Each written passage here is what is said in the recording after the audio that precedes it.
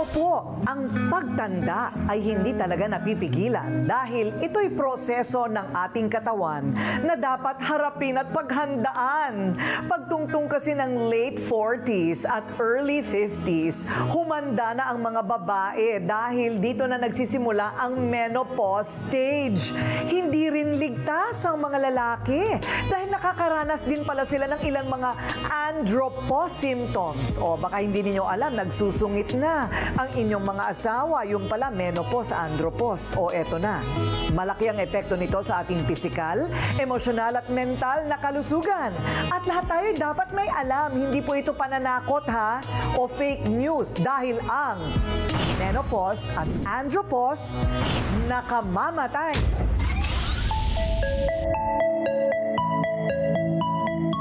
Ito ang realidad ng buhay. Lahat ng tao tumatanda. Nagbabago ang itsura, pati sistema ng katawan hindi na tulad noong kabataan.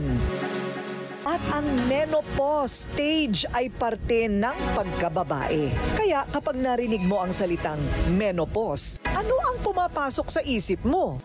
Ilang mga anak, hindi na nire-regla. Maraming nararamdaman sa katawan. Fresh and young looking. Sa edad na 55, hindi mo akalain meron ng pinagdadaanan ang may bahay na si Claudine. Nagsimula daw ito nang mapansin niyang tumigil ang kanyang buwan ng dalaw. Confession ni Claudine, hindi daw naging madali para sa kanya na tanggapin ang bagong kabanatang ito ng kanyang buhay. January 2023 of this year, wala na. So, one year has passed. So, yun na, menopause na ako. Ayoko siyang pag-usapan. Ayoko siyang isipin. Kasi kahit ako, ang negative ng tingin ko pagka menopause na. Bukod sa paghinto ng buwan ng dalaw ni Claudine, kwento pa niya unti-unti na din daw niyang naramdaman ang iba't ibang senyales ng pagiging menopausal na lubos niyang ikinabahala. Mood swings ko, kakaiba. Yung minsan parang galit, ang bilis ko mairita. Tapos yung sinasabi nilang hot flashes, yun talagang naramdaman mo parang merong mainit sa likuran mo na parang gumagapang sa buong katawan. Tapos papawisan ka kahit malakas na yung aircon. Ang pinaka-worst na symptom is yung night sweats na tinatawag. Magigising ako in the middle of the night, basang-basa talaga yung bed na minsan i-check ko. I-check ko na parang nagkaroon ba ako ng leak? Nag-leak ba ako during nung natutulog? Ayon sa OB gynecologist na si Dr. Maureen Higoy, ang menopause ay normal na nangyayari sa babae. Hindi ito kayang mapigilan at lalong hindi maiiwasan. Nagsisimula ang menopause kapag tumuntong na ang babae sa edad mga 45 pataas. Ito yung pagtigil ng menstruation ng isang tao sa buong isang taon. Ang menopause ay hindi sakit. Ito lamang ay isang pagbabago na natural sa isang katawan ng isang babae kung saan dito bumababa yung tinatawag nating uh, estrogen levels sa isang katawan. Bukod sa pisikal na mga pagbabagong nangyayari sa katawan ng isang babaeng may menopause, mayroong isang pag-aaral mula sa Amerika na nagpapatunay na sa isang libong babaeng pinag-aralang may menopause, higit sa kalahati dito ay nakakaranas ng depresyon. At ang marami pa sa mga babaeng ito na sobra-sobra ang nagiging depresyon dahil sa menopause ay nagpapakamatay. Inamin ni Claudine sa Rated Corina na kasabay ng pagsisimula ng kanyang menopause ay siya ding pagsisimula na makaranas siya ng matinding depresyon. Tumutulo na lang ang kanyang mga luha at hindi niya maipaliwanag ang kalungkutang nararamdaman ng walang dahilan. Kasi yung pagkalungkot, normal siya eh sa tao, di ba? Pero kaya ko naisip na parang out of the ordinary na feel ko na lungkot. Magigising ako na parang may emptiness, merong uh, lungkot na nararamdaman na hindi ko ma-explain sa nanggagaling. Nagbabala din si Dr. Camille Garcia, isang psychologist, na ang pagbabago sa mental at emosyonal na aspeto ng isang babaeng nagme-menopause pwede palang mauwi sa mas malalang karamdaman, ang pagka-stroke o paralysis.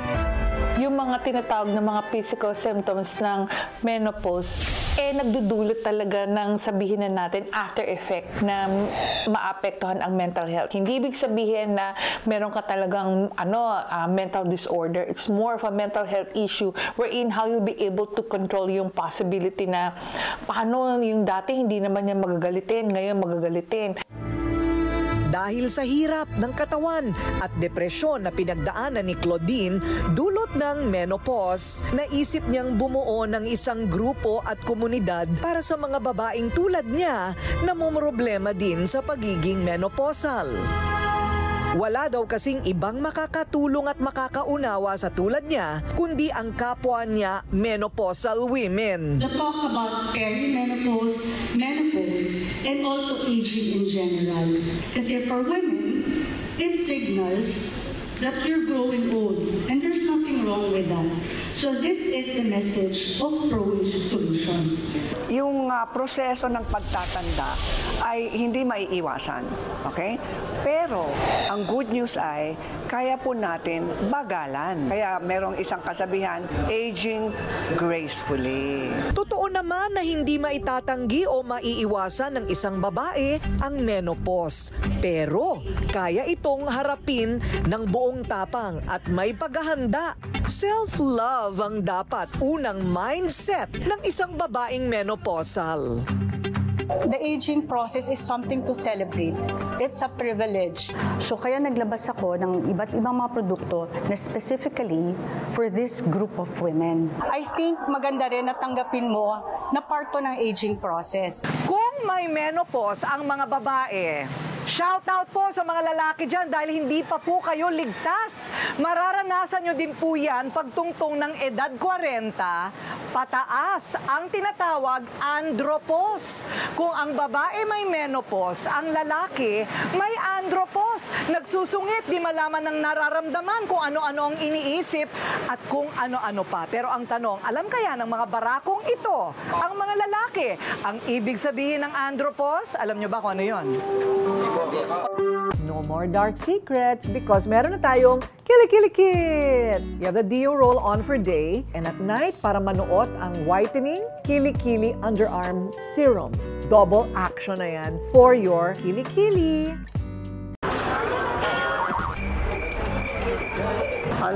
Na cellphone, merong Android na cellphone eh. Parang kaya eh, yung alien. Gaya ng sa mga babae, wala ding kawala sa andropause ang mga lalaki. Ang andropause ay isang kondisyon kung saan dahil sa edad nababawasan na ang testosterone level sa katawan ng isang lalaki. At kapag nangyari ito, maglalabasan na rin ang mga sintomas. Una na dyan, pagiging matamlay ng kanyang pagkalalaki yung alam natin na menopause ng babae, ganun din yung nangyayari. Nagkakaroon sila ng mga physical um, effects, symptoms na nahihirapan sila sa buhay nila. Nahihirapan sila magkaroon ng erections, um, mas bumababa ang kanilang mga libido. Ang mga other symptoms nila includes ang loss of focus, loss of energy, ang mga mood swings. Ayos ka ha. Sa'yo ha. Hindi tulad ng sa mga babae kung minsan matagal makitaan ng sintomas ang isang lalaki, lalo na kung maalaga naman sa sarili. Guwapo, matikas, matipuno. Ganyan nakilala ang action star na si Jerry Craval noon. Dekada 90 nang pumutok ang pangalan at karera ni Jeric sa showbiz. Makalipas ang tatlong dekada, ito na si Jeric Raval ngayon. Wala pa ding pinagbago. Age is just a number, sabi nga niya. In short, maintain na maintain. Pero maniniwala ba kayo na si Jeric Raval senior citizen na? Sikreto daw ni Jeric sa pagpapanatili ng kanyang forever young na kakisigan ay ang pagkain ng gulay at regular na pag-exercise. Pag action star ka kasi, ah, at least dapat minemaintain mo yung figura mo. Yung tindig mo, yung timbang mo, nag-gym ka lagi, masculine ka. Bukod sa pag-age reveal, si Jeric may ibinunyag pa na isang sikreto. Buong tapang na inamin ni Jeric sa Rated Corina na siya ay nasa andropause stage na. Kwento niya, wala man halos nagbago sa kanyang pisikal na itsura. Ramdam naman niya ang pagbabago sa kanyang lakas at kalusugan. Late na lumabo mata ko eh. Pero yung malalayo, kaya kong basahin yan. At nagkukulay ako ng buhok. Kasi pag hindi nakakulay yung buhok, ito lahat puti itong gilid. We're giving medicines to cover symptoms.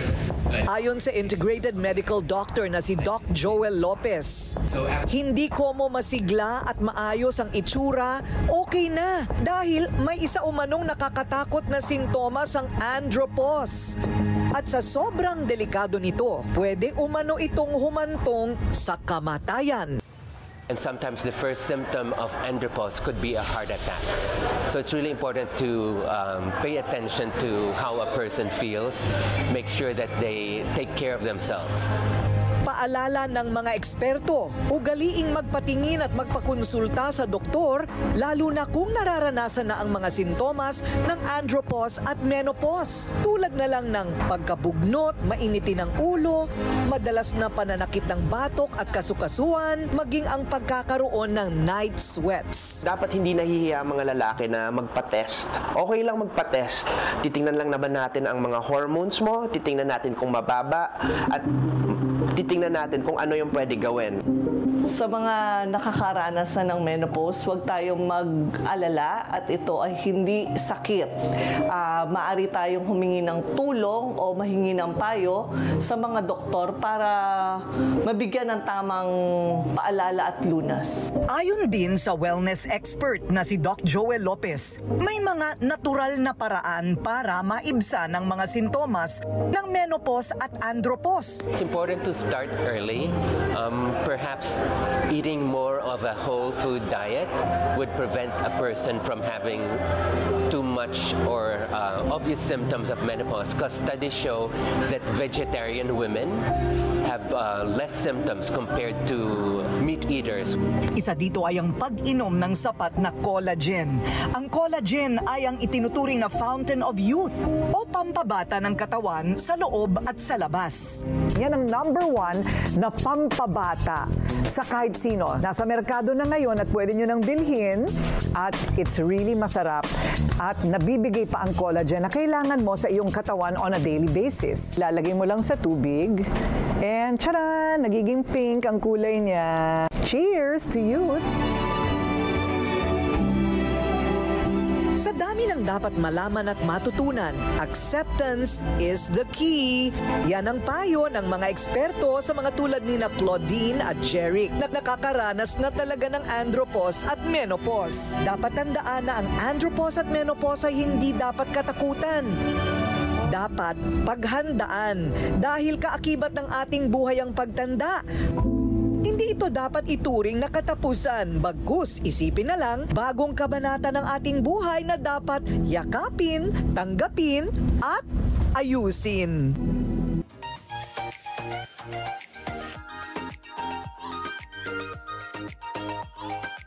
The Pampakit. Itong Pampakit, ang bago nating uh, packaging is meron na siyang bintana. So, hindi nyo na kailangan buksan. Naku, yung mga miron, bubuksan, tatanggalin para makita kung nandyan ba talaga sa loob lahat ng tatlong products all in one. And you save 95 pesos pag bumili kayo ng kit na. Kasi nabibili naman ito ng tingi-tingi.